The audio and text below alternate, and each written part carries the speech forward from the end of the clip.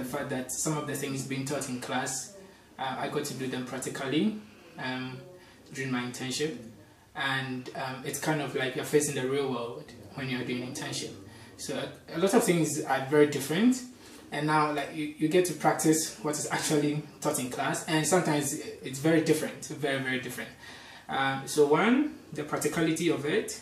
And uh, two, I mean, it's kind of a networking environment as well. So you have a chance to um, know um, people around you and who are also interested in what you do.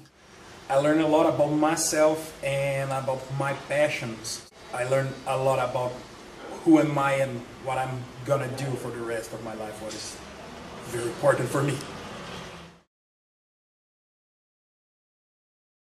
Without that, you can't get the skills you need to move on in life, especially if you want to improve in a particular area of your life. I mean, that's the grounds to start it. It's kind of a um, on-the-job training. You need it to prepare as you go into the job market. It's very important.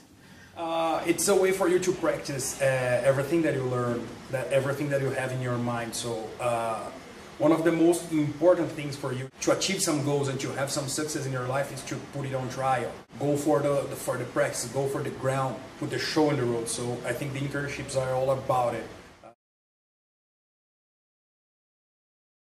As you go for the internship, you work as part of the team. You you are not different from the team. So if if they are closing at 8 you close at 8 or even better you close beyond 8 i mean do your work like a worker not as an intern.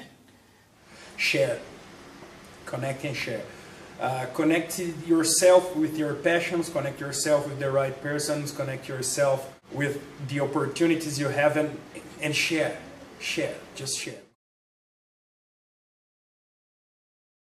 even out of the internship program i still communicated with um, my company that I was working with.